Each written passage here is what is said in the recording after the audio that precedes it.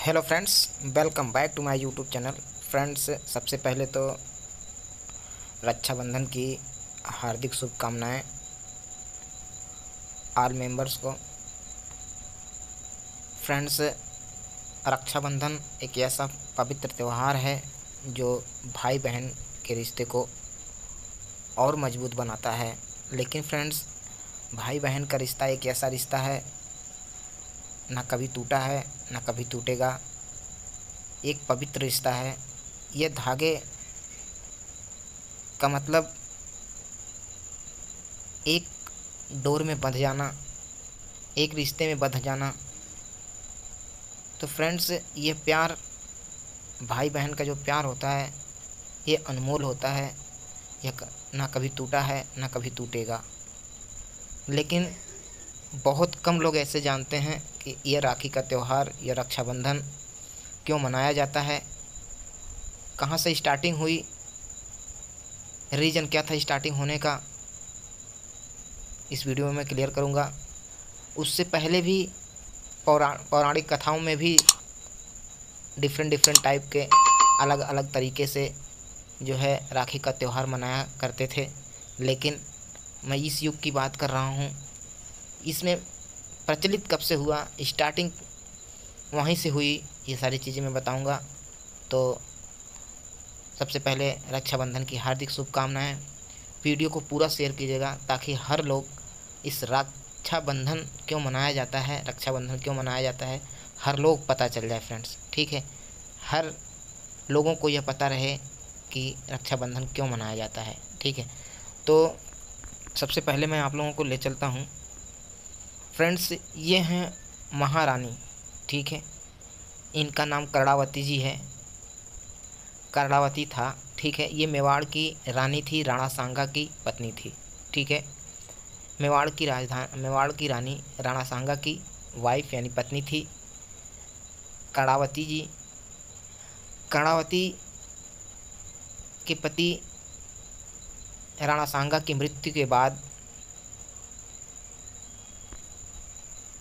राणा सांगा की मृत्यु के बाद गुजरात के बादशाह, गुजरात के शासक अब्दुल जफ़र ने मेवाड़ पर आक्रमण किया।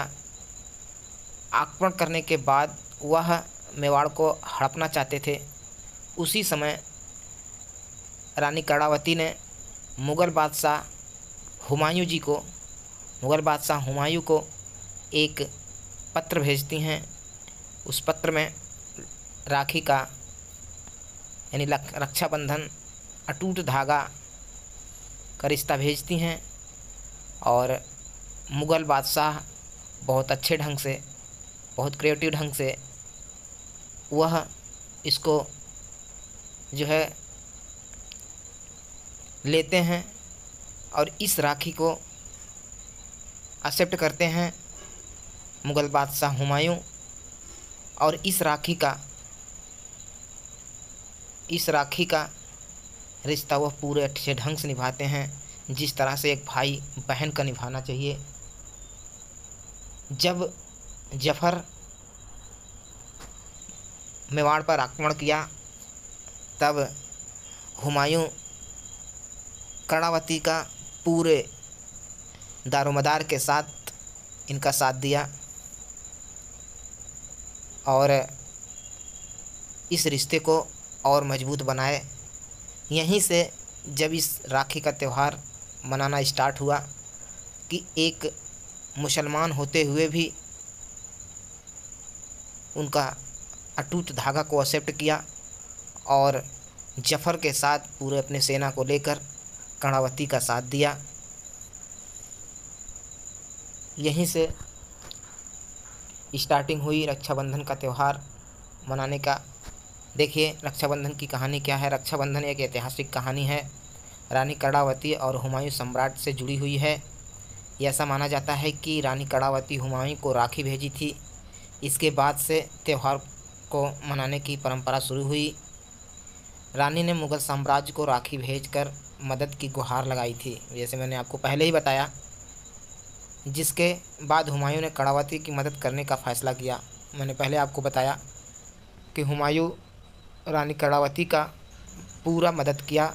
जिस तरह से एक बहन, एक भाई, बहन का आल जीवन रक्षा करता है, उसी तरह से इन्होंने रक्षा ही किया। यहीं से परंपरा शुरू हुई रक्षाबंधन का त्यौहार।